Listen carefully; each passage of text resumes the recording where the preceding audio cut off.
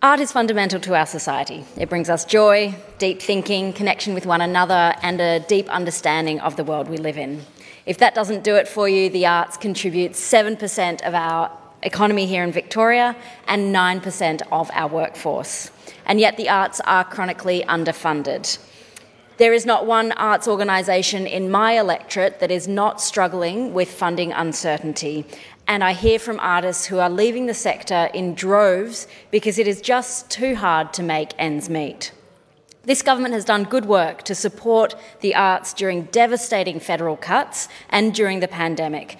But independent artists, who are the bedrock of our culture, have been overlooked, made to compete against each other, and miss out on paying themselves because project based grants just don't stretch far enough.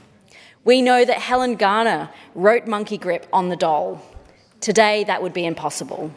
While my colleagues at a federal level are pushing to raise the rate of income support for everyone and abolish mutual obligations, we propose a groundbreaking trial to introduce a living wage for artists. I hope that the Minister for Creative Industries and this progressive government will consider this to support artists with the stability that they need to create the important work of our time.